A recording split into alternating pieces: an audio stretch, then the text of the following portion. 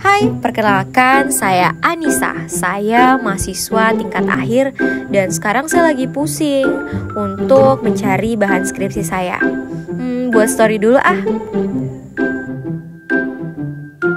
Halo guys, saya lagi cari buku referensi metode penelitian dan teori ekonomi. Saya sudah keliling di toko buku, bukunya tidak ada. Teman-teman yang tahu referensi perpustakaan di Kota Kendari, mohon infonya ya. Terima kasih, dadah.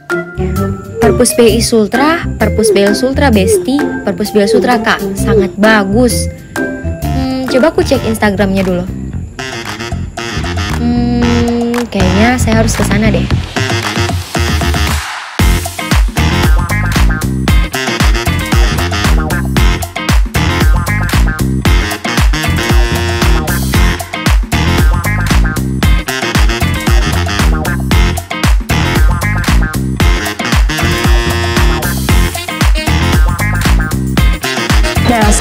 Saya sudah berada di kantor Bank Indonesia. Jadi kalau mau datang di sini tuh harus ke kantor Bank Indonesia dulu.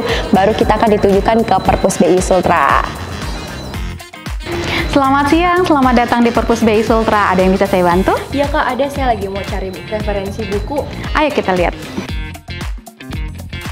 Akses untuk masuk yaitu yang pertama scan buku tamu, locker untuk penyimpanan barang. Sekarang saya berada di perpustakaan Bank Indonesia Provinsi Sutra. Wah, bagus sekali. Tempatnya cozy, ada sofanya, ada bukunya, terus ada tempat nyamannya juga dan untuk bersantai-santainya untuk sambil baca buku. Yuk kita lihat keseruan di perpustakaan BI Sutra.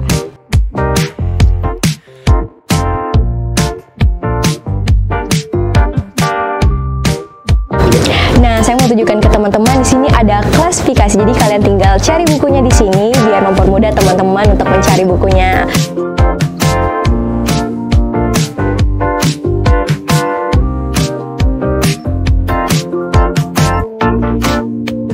Kakak, ada buku tentang metodologi penelitian sama perekonomian Indonesia? Nah, kalau mau cari buku, kita bisa akses di Cyber Library untuk memudahkan pencarian buku kita.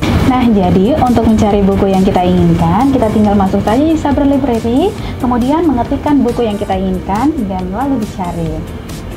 Nah, di sini akan muncul data-data buku yang kita inginkan. Kita bisa langsung ketik buku yang kita inginkan, dan di sini akan langsung ditunjukkan rak di mana posisi buku tersebut berada.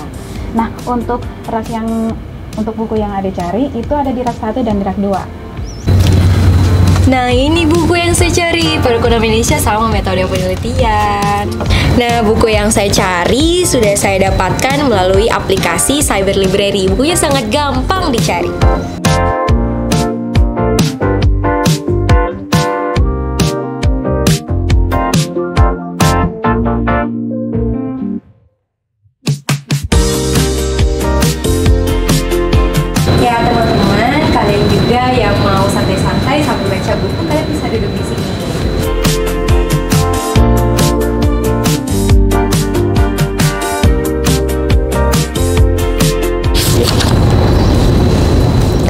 Lu sudah waktunya pulang.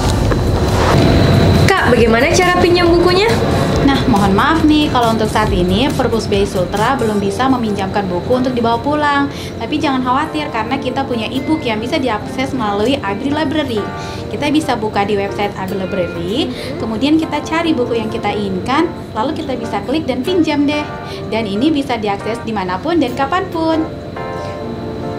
Oke, Kak, terima kasih infonya. Sama-sama, selamat membaca. Iya. Tadi aku sudah kasih lihat kan keseruan di Perpus BI Sutra.